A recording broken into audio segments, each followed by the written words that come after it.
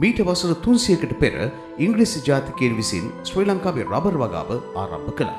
මේ කිරිකැපීම සඳහා විවිධ ප්‍රදේශවලින් දමිල කම්කරු පවුල් සිය ගණනක් මේ වතුවල පදිංචි වුණා. එසේ පදිංචි වූ කම්කරු පවුල් සඳහා දෙවියන් උදෙසා පුද පූජා පැවැත්වීම පිණිසයි මෙවැනි කෝවිල් බිහි වූයේ. ඉන් එකක් හැටියට අද පුරවරුණ අවධානය යොමු වන්නේ ශාලාව මේ ශ්‍රී මුතුකුමාරි අම්මාන් කෝවිල වෙතයි. අවිස්සාවෙල්ල කළුවක්ගල අතරේ පිටලා තියෙන මේ දේවාලේ මේ වතුයායේ පදිංචි සෑම මිනිස් කොට්ටාසයම මේ ඇවිල්ලා සෑම පූජාවක්ම කරගෙන එකන සෙස්සාන්ති කරගෙන එයාලාගේ කටයුතු කරගෙන යනවා. ශ්‍රී ලංකා ටෙලිකොම් එකම රටක් එකම හඩක්